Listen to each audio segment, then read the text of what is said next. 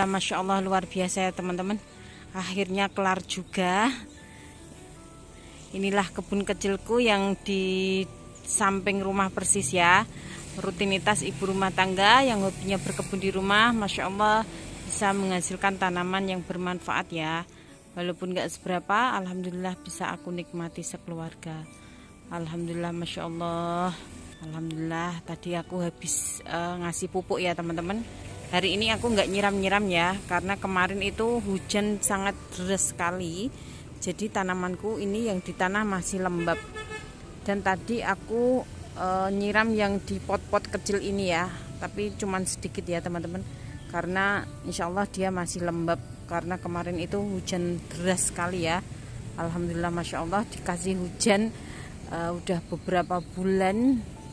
Dan baru ini dikasih hujan ya dulu pernah sih cuman panas lagi jadinya kering lagi ya teman-teman.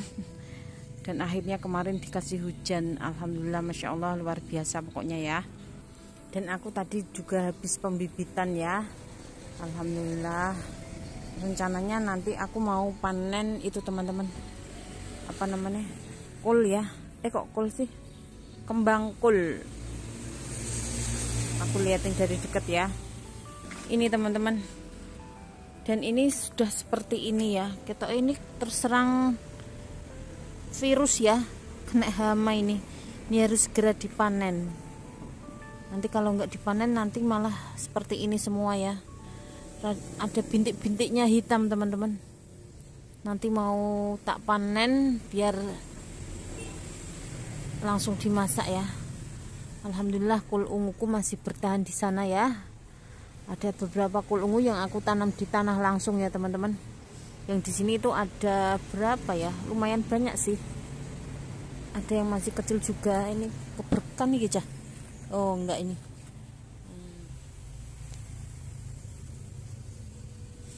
Di sana ada di sana di sana di sana. Di sana itu empat ya teman-teman. Di sini di pinggiran sini kemarin aku tanamin beberapa. Sayangnya jagungnya stuck di situ aja ya nggak tahu kenapa yang di sana itu lumayan udah agak tinggi ya teman-teman.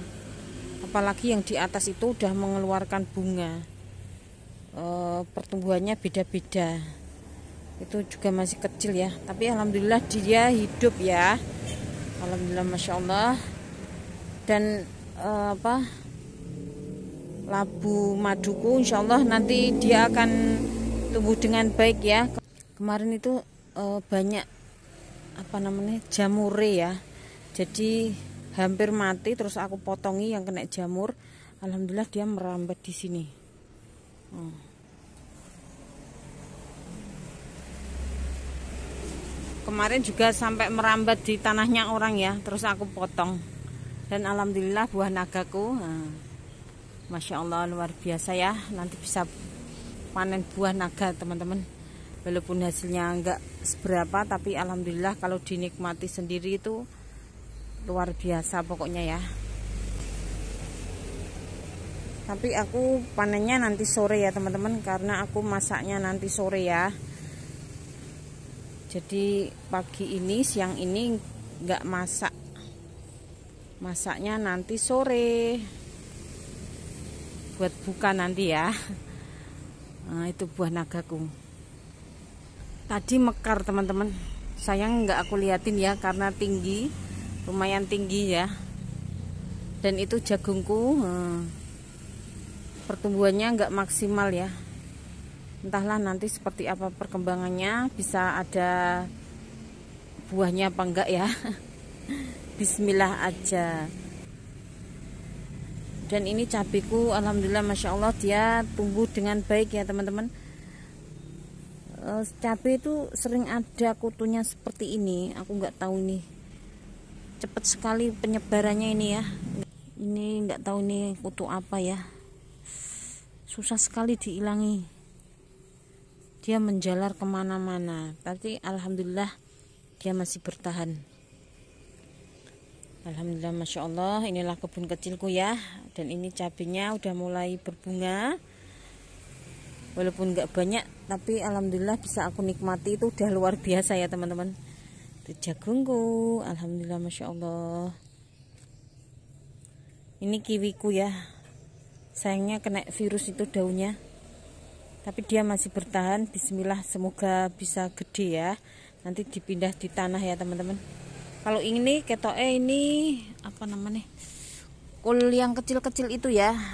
Apa nak orang bilang itu yang buat lalapan di luar negeri itu loh teman-teman. Kul yang apa ya? Kul yang mini ya.